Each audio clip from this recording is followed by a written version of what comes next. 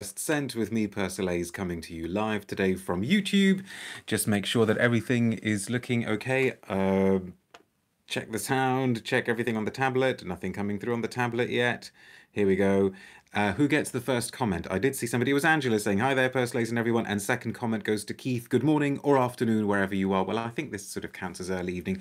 I'm just going to do one reach over to check something out here because of course I can't actually check things until we go live. Okay, so for those of you who are watching live, apologies for a few minutes to those of you watching the recording, please bear with us. For those of you watching live, uh, you have got quite a few videos in store today. We're going to go for, we're going to aim for five videos. I wonder if we will actually manage five.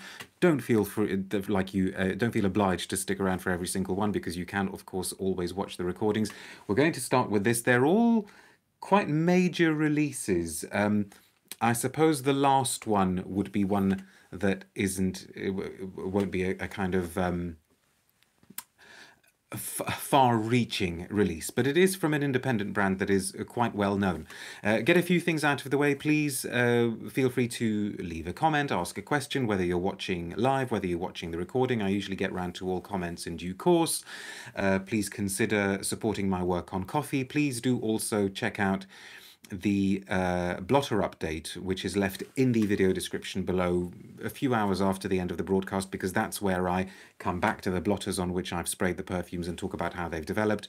And I also tend to uh, publish further thoughts on the blog on persolaise.com. So, who else is here? We've got Audrey saying hello from the sunny West Midlands. Well, we're, we're kind of sunny down here in Hampshire. The sun's been trying to break through. Ema's in London. Sunny here in Leeds too, says Angela. Udo Pantograph says, hmm, tobacco. Yeah, I'd, let, us get on to that. Now, this is, um, I think we can count this as pretty new. It's been on general release from Dior only for a very short while. You may not be able to see the name there. It's Tobacolor, okay, so Tobacolor, um, obviously a play on tobacco and color. Color spelt the American way, but we'll forgive Dior that. And it's the latest addition to what used to be known the uh, collection privée, collection privée from Dior, but now I think they call it the Maison Christian Dior. Um, there was definitely, as has already been discussed on this channel, there was definitely a rebrand of this exclusive range a few years ago. Um, and now it seems to be a, a line of, or, or a collection of two strands um, because on the one hand, we have got the scents which I guess are geared very, very firmly towards the uh, the Far Eastern market, the Asian market. They tend to be um, very literally, very figuratively uh, floral, um, quite sheer, quite transparent, quite accessible. And yet, there is still um, the fact that part of this range goes for the, the Middle Eastern market. Scents like Leather Oud, Dior Isfahan, uh, Oud, is, Dior Isfahan, Oud Isfahan did extremely well. Uh, Oud Rosewood was, was beautiful, uh, that came out, I believe it was last year. Uh, spice blend. So, so the heavier, the richer, the more ambery scents are, are very much present as well. But the collection seems to be veering more and more the two the two strands are separating from each other more and more and and you you almost wonder whether there aren't going to be two separate collections coming soon. Uh, in one of the videos that we're going to be to, uh, talking about today we're going to come on to Armani Privé and you'll be aware that in in Armani Privé even though that umbrella term encompasses all of the exclusives from Armani.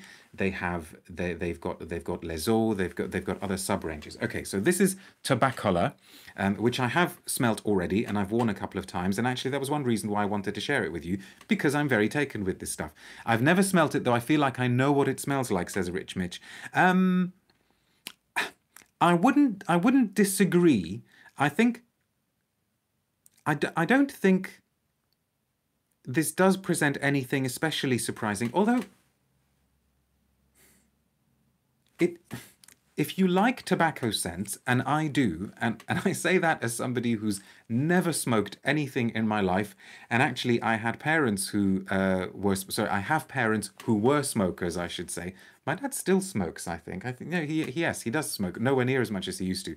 Um, and and I was a militant anti-smoker, always telling them to stop smoking. My brother, my younger brother, actually went through a phase of putting posters up in our house. Um, saying you're killing us. Don't smoke around us etc and yet there is still something really um, attractive i think about the smell of uh, tobacco of tobacco leaves. Not necessarily of cigarette smoke. That isn't the most attractive smell. Who's got who's got a fondness though for pipe tobacco? Does anybody even smoke pipes anymore and the idea behind this scent from Francois Demachy, and I have to say, I think the idea is extremely well executed, is to take the different varieties of tobacco, the different colors of tobacco, and to try to compose a, a cohesive scent out of them. Now, I am not in any way, shape, or form a tobacco expert. I think I have some vague idea that there are different varieties of tobacco available, but I, I don't know very much about them. Um, and yet here you you do you, you can detect different facets of tobacco. So you have got surprise, surprise for the Middle Eastern market. You've got the kind of shisha accord, um, which usually tends to be an apple-like tobacco. I think because apple-flavored tobacco is one of the most popular um, flavors of of shisha tobacco that you can get. But there's the there's the there's the, the the woodier feel of I guess blonde tobacco that you get in Tabac Blonde, um, and then darker things happening here as well. It's honeyed, it's it's it's it's it's syrupy, um, quite rich, quite dense. I mean, I I was really really impressed. I was really impressed. Um, and then I thought there was a bit of me that thought, ah, it's an, it's another tobacco scent. Yes, okay, well done, Dior. It's a really good tobacco scent. But then I thought to myself, okay, but how many other really, really good tobacco scents can I name? Really good ones. Uh, I saw somebody mention Habanita just now, uh, and of course that's that's a classic. Uh, there's a very good one from Penhaligon's, but it's from the it's it's from the Penhaligon's exclusive range, the one with the with the ridiculous Cluedo animal heads, and I, I forget which one it is. I, it might be it might be Lloyd George. I, I can't remember, or is it Lord George? But it's my favourite of those Penhaligon's exclusives. Um, it starts heading, heading, as you would imagine, into. Uh, oh, who's who's just said Chergui? Uh, Yura. You need to tell me now that you've sort of revealed your identity on Instagram. Is it Yura or Jura? Um, I don't know how you're actually going to tell me in these comments say, is it Jura, the first one, or Jura, the second one? Um, Chergui, absolutely yes, another very good tobacco scent. But there isn't a huge number of them out there that are that are really, really great. And this one is one of them. Lots of comments seem to have been coming through, and I've got a very, very brief press release on this. What are people saying? Um, lots of hellos, first of all. Uh, hi from Belgium. Ashfaq says, My liege, I'm not reading out the second bit. Yura. Oh, well done. That's a very good way of telling me how to pronounce your name. Hmm, clever. I like it. Yura. Okay, I will remember that. Hello from Muscat, Oman, says Christopher. Hello, sir. Uh, lots of hellos still. Um, and anything about the actual perfume. I love tobacco scents, says Olfactive Stories, but I'm just afraid that one would be too fruity sweet for me. Yes, and I have to say, I prefer smelling this on paper than I did on my skin, which is why I think it may be a bit of a sort of fabric or scarf application. But it is very well done. It's extremely well done. Um, I used to put a slice of apple in my pipe tobacco, says Jonathan. I don't smoke pipe tobacco any longer. Um, Alice, mm, apple, does this remind you of Hermes Ambre, Ambre Narguilé? That's, of course, another reference one. But that, to me, is much more an amber scent with tobacco swirling around it. Um, Eau du is a good one, I think, says Tina. I don't like the smell of sweet flavour shisha, says Audrey, but tobacco scents are nice. My re reference tobacco compositions are Chergui and Tabac Grande, says Ashfaq. Uh, Havana, still great, albeit not smoky. Um, have you tried tea habanero from Rania J, says Roxana? Yes, and I'm pretty sure I reviewed it on the blog quite some time ago. You'd have to go back to persolaise.com and find out. Someone said it was similar to Black Phantom. What do you think? Says Frank. Ooh, I'd have to try Black Phantom. I don't. I'm not familiar with that one. Rich Mitch, I may buy cigar rum. I've had a sample and it's quite good. Um, cigar. Which one's cigar rum? Um, and Ashfaq. Uh, Pappy Tobacco displayed quite. Oh, message gone. You can't retract your message just while I'm reading it. Let's look at the press material. Okay, as I as I said, I promise it's very brief. The fragrance name Tobacolor uh, has the ring of a surprising encounter. okay. An invitation to discover the nuances of fresh tobacco tinged with joyful colours. Yes. Strong, generous, and rich with aromas, the Tobacolor fragrance unfurls a beautifully sensual oriental trail. The bewitching scent evokes travel and freedom.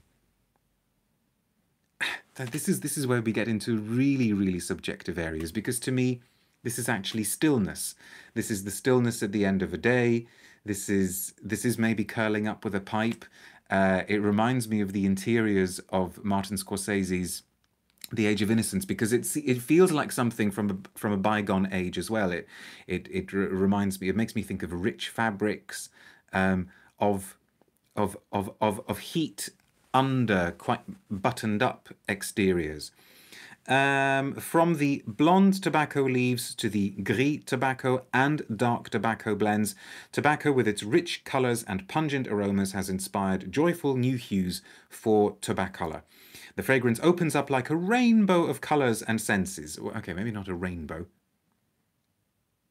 Not sure there's anything pink here or magenta, I don't know, or violet. The brown nuances of tobacco and shimmering shades of plum and peach blend with the garden, sorry, the, gar the garden tones, the golden tones of honeyed notes, and absolutely that that is in here. Those sorts of orchard fruit, those syrupy fruits are here.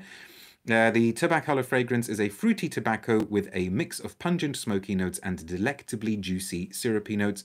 The powerfully ambery tobacco tobacco I still don't. How do you meant to say it? You meant to say tobacco? The fragrance sweeps you up in its irresistible swirls it, as far as the, the Maison Privée goes, it is very, very good. What do you think of the price, says Rich Mitch. Oh, no, but, but you're asking somebody else. Um, the price of these, I mean, I know the price of these is, is, is, is shooting up, but at least they're doing 40 mils now in most of them, if not from all of them.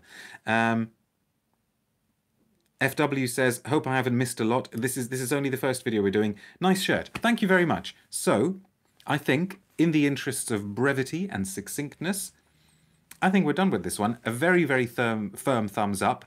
It was a thumbs up from me as soon as I tried it. And I did think to myself, thank goodness there are still uh, these Dior scents, these uh, Maison Christian Dior scents that, that we do enjoy and we do like. Because what was what was the one that I wasn't so keen on? Was it Rouge Trafalgar?